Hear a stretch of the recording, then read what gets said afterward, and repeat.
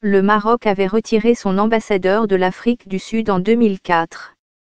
À l'époque, le gouvernement de Thabo Mbeki avait reconnu le Sahara occidental.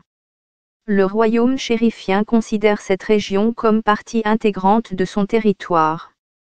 Dans une interview accordée à City Press, un hebdomadaire sud-africain paraissant le dimanche, Jacob Zuma a déclaré que son pays devrait avoir des liens avec le Maroc qui est une nation africaine.